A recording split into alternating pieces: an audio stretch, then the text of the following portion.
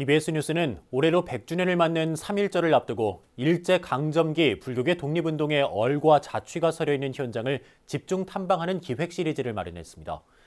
오늘은 BBS 불교방송 본사 사옥을 중심으로 한 서울 마포 일대의 독립운동 유적지를 찾아가 봅니다. 정영석 기자입니다.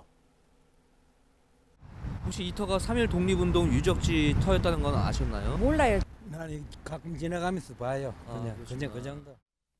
1919년 3월 1일 저녁 8시 서울 종로 탑골 공원에서 조국의 독립을 부르짖은 시위 군중은 마포 전차의 종착지로 모여들었고 1000명이 넘는 이들의 만세 운동은 해가 저물도록 계속됐습니다. 100년 전 마포 종착지에서 울려 퍼진 이 만세 운동의 역사는 현재 BBS 불교방송 본사 사옥 옆 화단에 세워진 표석으로 기념하고 있습니다. 마포 전차 종점은요. 1919년 3월 1일에 탁골공원에서 독립선언식을 시작으로 해서 만세 시위가 서울 교외로 번져나가기 시작한 곳이 되겠습니다. 3.1 독립운동의 현장인 그 시절 마포 전차 종점에서 1.8km가량 떨어진 곳. 지금은 자취를 찾기 힘든 이 터엔 서울 서부지방법원이 자리해 있는데 1912년부터 23년 사이 많은 항일 독립 운동가들이 이곳에서 옥고를 치렀습니다.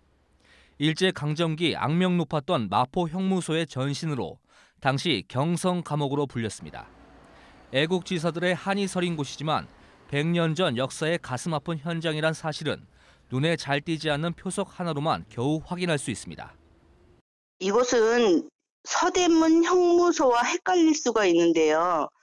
서대문 형무소의 전신인 경성 감옥이 서대문구에 지어졌을 때 수용 공간이 부족했어요. 그래서 그 마포구 공덕동에 감옥이 새로 생기면서 경성 감옥으로 불리게 되었었어요. BBS 불교 방송을 비롯한 서울 마포 일대는 조국 독립을 위해 온몸을 내던진 수많은 독립운동가들의 정신이 살아 숨쉬는 곳입니다. 이들의 애국 정신을 본받아 후대에 전하는 일이 이제 우리의 몫으로 남았습니다. BBS 뉴스 정효석입니다.